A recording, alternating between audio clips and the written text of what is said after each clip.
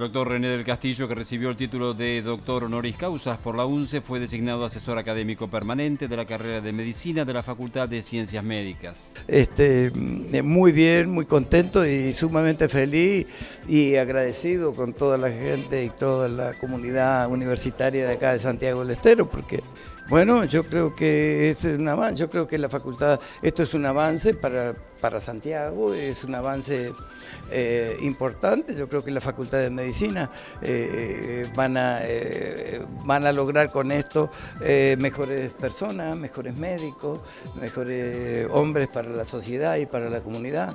De manera que yo creo que es una suerte para Santiago poder tener acá en su medio un, eh, poder desarrollar una facultad de medicina que indudablemente siempre redunda en beneficio porque todas las facultades o las universidades llevan adelanto.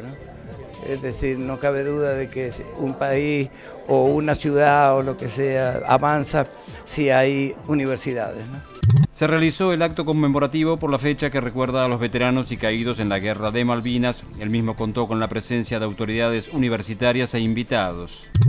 La rectora Natividad Nasif participó del plenario de rectores número 73 del Consejo Interuniversitario Nacional en la ciudad de Rosario, donde se trataron temas relevantes para la gestión universitaria.